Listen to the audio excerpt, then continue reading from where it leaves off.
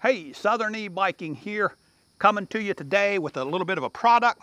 I run across this on Amazon, and I thought maybe some of you guys might be interested in it too. Whoa, what is this?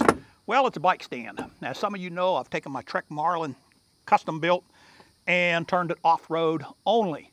That means that I had to get rid of the kickstand on it. So I was leaning it up against the wall there uh, in the shop and I really didn't like that. So I found some way of dealing with that. So let's take a look and see how it works. Now this is a very complicated piece of equipment here, you know, and to work it, you gotta be ultra careful and you, well, okay, maybe not. You just slide the bike into it just like that.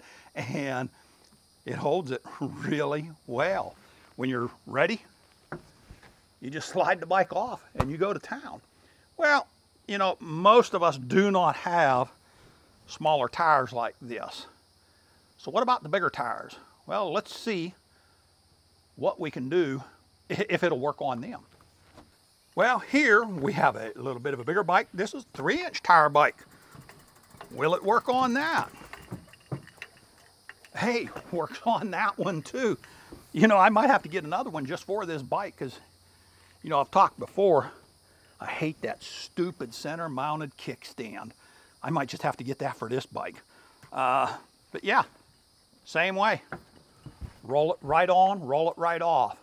Well, you know, Blaine, that's real good for you because you got that, you know, three inch tires and two and 0.35 tires. How about we all, all the rest of us, we got 26 by four inch. Let's see if it works on those. Well, here we go. Now we got the three or the four, 26 by four inch tires. Now I can tell you right now, if you look at the description on this, which we're gonna post a link to it, it says up to three and three quarter inch tires. It's a four inch tire. Will it work? Well,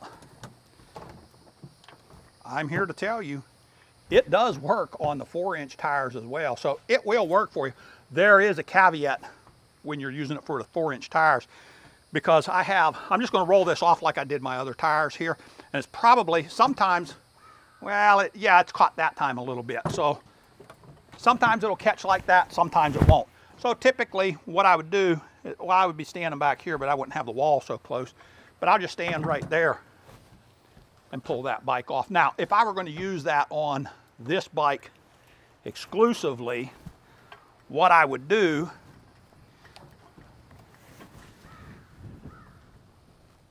is I would bend these two rods out just a little bit and it probably wouldn't take much that it would work on a four inch bike as well. So yeah, it's about a $30 bill. I don't have the exact cost with it uh, uh, here right now, but I felt like it was a good deal. I wasn't even gonna bother doing anything on this, but I thought, you know what?